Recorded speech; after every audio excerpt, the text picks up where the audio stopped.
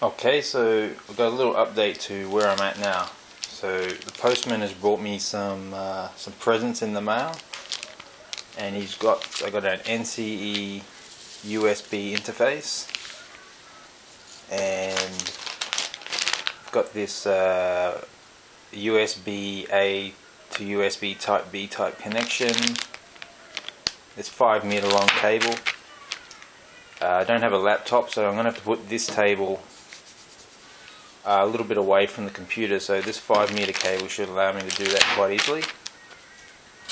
I've got also a pair of crimpers. This is for crimping RJ11 and RJ12 type plugs and also some little uh, telephone type plugs to go with the crimpers. Now the cable that goes into the USB interface and into the power panel, I'm going to make up my own custom cable. That's why I bought these crimpers. Now the, the cables are slightly different from a telephone cable and we'll take a closer look at why they're different. So here's an old telephone cable I've got lying around and even though this has the same plug that I'm going to use for the NCE power cab, this cable won't actually work properly with it. And let's have a closer look and see why. Okay, so if we look very closely at these plugs, now if we line the tabs up, this tab on the left side has been broken off, but if you can imagine both tabs are lined up at, on top, and you can see that the colors are going in the opposite direction. It goes yellow, green, red, then black, but they're going the opposite way. Now for the NCE power cab, we need these plugs to be running both in the same direction. And I'll show you an example of what I mean. Okay, so on this cable you can see that the colors are going in the same direction. Now this is this is a cable that was supplied by NC, NCE power cab and you use it when you want to use your uh, power cab as a pro cab. So it's very important to make sure that the colouring wires are in the right direction or you may have uh, some problems. So I'm planning to mount the USB interface around here somewhere, maybe there. And that's why I bought the crimpers because I want to make a, a custom length cable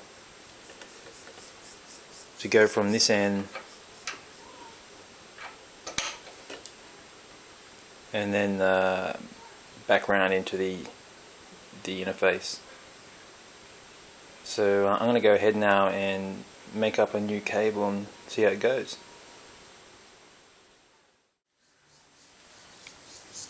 Now I've cut the cable to length and all I need to do now is put the plug onto this end. Now the plug simply slides over the end I'll certainly be lining up the plugs, making sure the wires are going the right way. Slide it on, put it into the crimper, bam, should be done. Okay, so I've got them running the wires both the same way there and tabs at the top. So I'll take my plug, slide it in carefully, making sure we're lining up with the contacts. Turn it over. Just check to make sure that's right again. And we are right.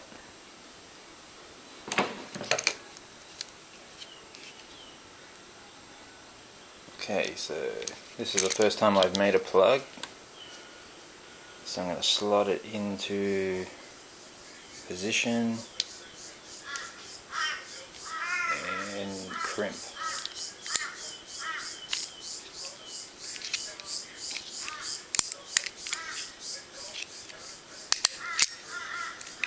Okay.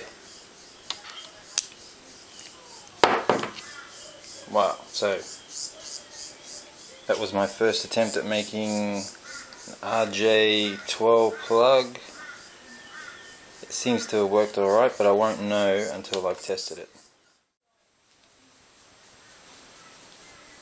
So I'm planning on mounting the interface about here. So I got my square, I've squared it off and I've marked the holes and I've done these little pilot holes here which I'm going to further drill out with a larger bit. And i'm going to mount these little brass fixings which will screw in and then this screw then will hold it, come in from the top and hold it in position. So it should hold it nicely in position and see how it looks.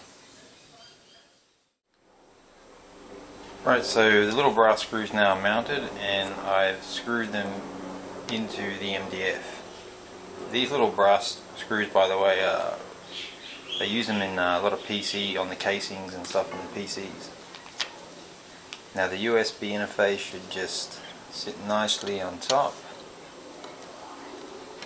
and then we'll just screw it down holding it into position. Now I wanted to be sure that this was mounted quite securely because I've been moving this table around the house a lot and I don't want anything to fall off the table and break. So this uh, this system allows me to keep it here nice and tight. Okay, so one more screw.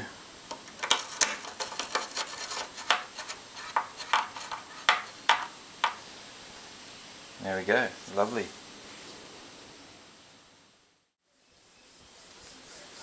Okay, so the plug is made. So I should be able to just plug it in here.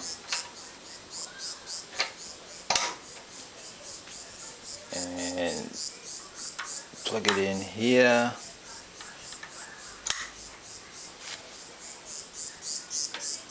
And I'll have to find something to hold this cable down in position.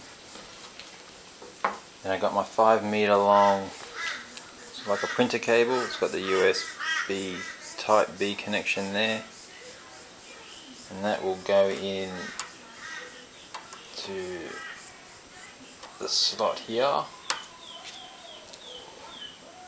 And I'll have to take the other end to the computer.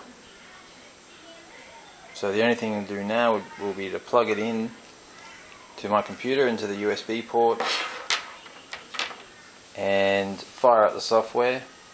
Uh, I'm going to be using a software package called, I think it's called Rocrail, and I'll be trying that one out. If I don't get much success with that package, I'll be uh, trying out the JM, JMRI Decoder Pro Panel Pro software. Hopefully there won't be too many problems, and uh, we'll see how it goes.